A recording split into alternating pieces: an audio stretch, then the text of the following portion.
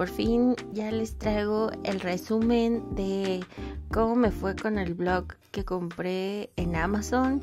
Es Paul Rubens y les hice un TikTok donde les comentaba que lo que no me había gustado de este blog era que se salía unos picos extraños como pueden ver ahí. Eh, se supone que eran redondeados y, la, y al final no eran redondeados. era como un pico muy extraño, pero bueno.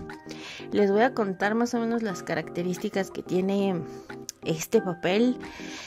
Ay, amigos, tengo mucho que decir, pero bueno, las características son, tiene un papel de 300 gramos, es 100% algodón, tiene 20 hojas, es tipo block, porque yo pensé que era como, pues, no sé, un sketchbook que estaba cosido, pero no, es un tipo block.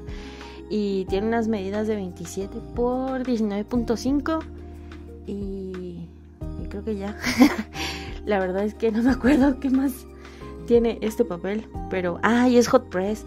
Eh, hot press quiere decir que pues no es tan texturizado y a mí me gusta mucho ese papel, bueno, ese acabado porque yo utilizo mucho em, lápices de colores al final y no me gusta que deje esta textura como Mm, no sé, como, si no fuera lisa. Y pues sí. Lo primero que empecé a utilizar fueron los Cool Erase, que son de Prismacolor. Y precisamente me gusta el Hot Press porque no es texturizado, vuelvo a repetir.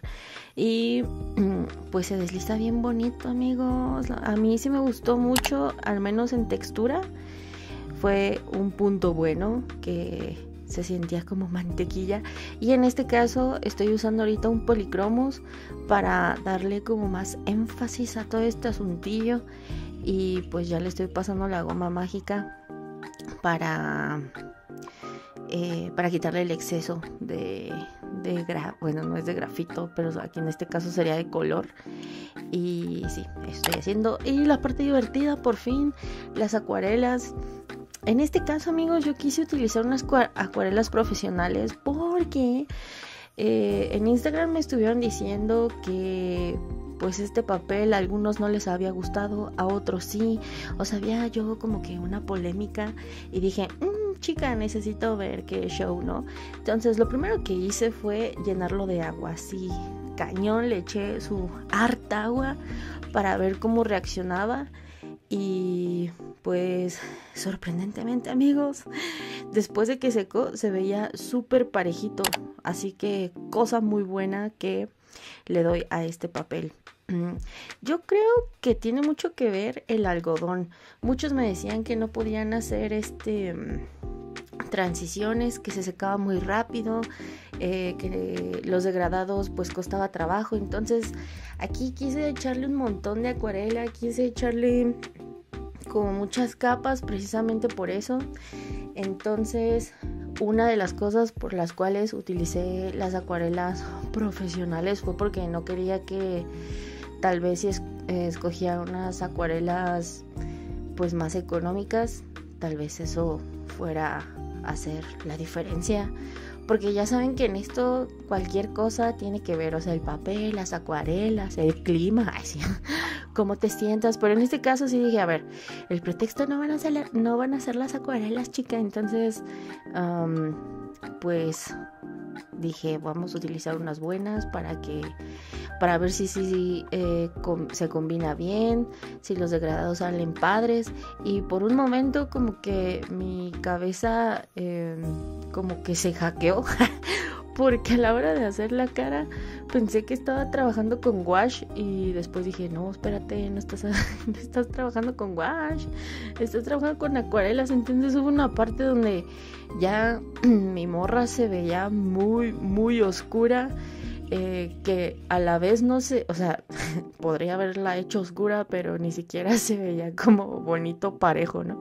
Entonces, pues ya le puse ahí unas cosas bien raras, unos colores, y se veía así como, pues no sé, la verdad sí se veía como que hubiera tomado sustancias, eh, pues no legales, y, y se veía muy, muy rara, pero pero bueno, ese no es el punto. el punto es que a diferencia de lo que me habían dicho, eh, de que no se podía, eh, bueno, que se les dificultaba mucho la transición de colores y sobre todo, no recuerdo en dónde, me pusieron un comentario que los rojos eh, se secaban muy rápido, lo cual se me hizo muy extraño, pero pues no lo descarto, la verdad. Eh, pero precisamente yo dije, mm, vamos a probar, chica, vamos a probar y, y, a ver qué pasa. Y hasta ahorita todo iba bien, amigos, todo iba bien. Yo estaba muy contenta. Y en esta parte, como les comentaba, mi morra tenía eh, cara como que había tomado sustancias ilícitas. Entonces dije, mejor ya le dibujo bien eh, con su policromo, ¿verdad? Eh, todos los rasgos. No sé si a ustedes les pase que están como a la mitad de la acuarela y se ve bien raro. Y en esta ocasión como que yo dije, no, se está viendo muy extraña, necesito ver cómo al menos va a quedar su cara. Entonces pues ahí sí me adelanté, le puse mm, pues el delineado con eh, lápiz morado y ya las las luces pues con tinta blanca que utilicé la de Copic que por cierto se me secó la desgraciada y pues me dio mucho coraje porque costó cara, o sea, la verdad no me acuerdo cuánto costó, pero sí costó cara y me pues no sé, la reactivé con agüita, pero no sé, se hizo como un cristal muy raro, nunca me había pasado eso, nunca había visto que una tinta se me hiciera así, pero bueno.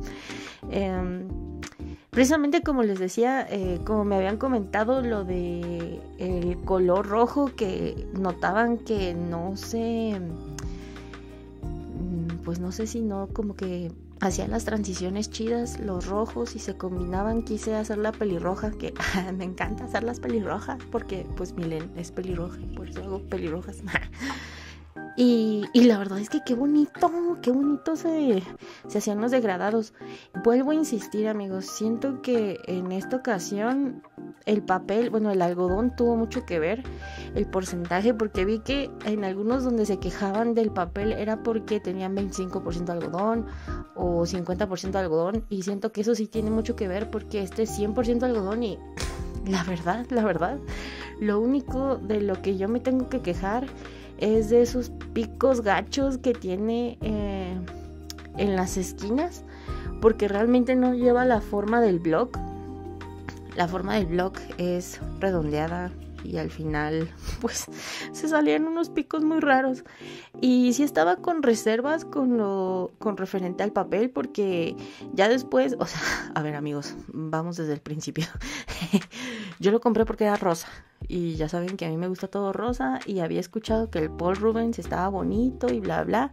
Y dije ay mira está rosa lo vi en Amazon costaba 600 pesos y dije mmm, me lo voy a comprar entonces la verdad es que para tener 20 hojas, pues sí está algo... Ay, es que no sé amigos, no sé si decir si está cariñoso o no, porque cada hoja te viene costando como unos 30 pesos. Entonces, pues, no sé, no sé. Todo depende de nuestras prioridades y de qué, en qué queramos gastar. Pero bueno, mi razón por la cual lo compré no fue por el algodón, no fue por eso, fue porque era rosa. Y al final... Mm, pues resultó que el papel es muy, muy bonito. Algo que, mm, otra cosa que no me gustó, podría decir, es que es tipo blog. Em, y si ustedes lo compran pensando en que es un sketchbook donde van a tener sus cosas y para poder quedarse ahí, mm, tal vez no sea la mejor opción, porque en mi caso yo ya estoy haciendo otra ilustración que es la que voy a hacer del set de Tutti Frutti de Neil. Y pues tuve que quitar esta chica demonio para poder hacer la nueva. Entonces, pues ya no se va a poder quedar la chica demonio aquí en el blog. Pero al final, pues no sé.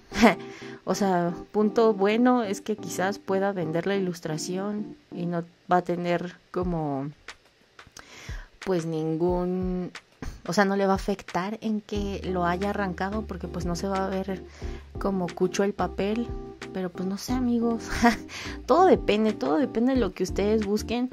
Yo al final pues sí me hubiera gustado que fuera un sketchbook tal cual que estuviera cosido, pero al final es blog, entonces pues siento que al final cuando ya me acabe las hojas pues ya valió porque porque este pues seguramente me voy a acabar las hojas y ese blog va a quedar vacío. Entonces quizás le diga a Ale que me haga un, no sé, un blog. No, no sería un blog, sería como un librito para que estuviera con la guarda rosa. Ay, no sé amigos, pero pues este, si no tienen una amiga que haga libreta, seguramente se van a quedar como yo en este momento, así como pensando de que van a comprarlo y cuando se lo acabe, pues ya no va a servir, lo van a tener que tirar o no sé. Pero creo que eso es de las cosas que no me gustó. En realidad, creo que el diseño, yo me tengo que quejar en cuanto al diseño, porque el diseño sí está cucho, pero el papel salió muy bueno. O sea, si ustedes tienen la posibilidad de hacer un gasto de 30 pesos por hoja, pues la neta sí. Y miren cómo quedó al final. La verdad me gustó mucho cómo se deslizaron los, los colores, cómo se combinaron las acuarelas. Eh, hasta ahorita todo se ve muy bonito. No se me arrugó el papel. O sea, yo le doy un 10 de 10 a este papel, la verdad. Em, hay blogs mucho más caros, pero siento que este está como en medio. Pero bueno, amigos, espero que les haya gustado este resumen. Espero que no haya hablado así como bla bla, y que no haya servido de nada. pero bueno, ya saben que los espero en mi Instagram. aquí abajo les dejo la lista de Spotify que tenemos. Suscríbanse, denle like, comenten si les gustó el video y si lo han probado y qué, tal les gustó. Y pues nada, amigos, ya me voy. Bye, nos vemos en la Y la próxima va a ser acuarelas color pastel. ¡Yuhu!